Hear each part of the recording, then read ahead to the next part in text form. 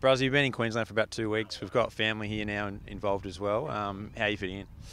I'm loving it. Uh, the weather's a lot better than Melbourne, and Melbourne's in a bit of shambles at the moment. So um, I'm having a lot of fun here. So are all the boys. So yeah, it's good fun, and it's good to have Ashley down. And we've got a win over Sydney last week. Now looking to, to the Crows tomorrow. We've got a pretty hectic day coming up. Can you run us through it?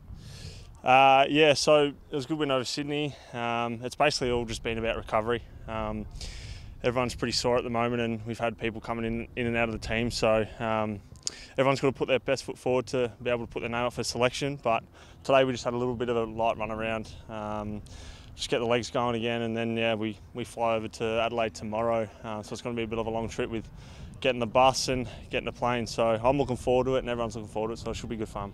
Yourself, you're playing pretty good footy. You happy with that? Yeah, I'm pretty happy with that, but uh, more focused on just getting wins, getting wins for the team, and um, yeah, hopefully bring it home at the end of the year. But um, yeah, I'm loving my time over here, and so is everyone. So yeah, it's good fun.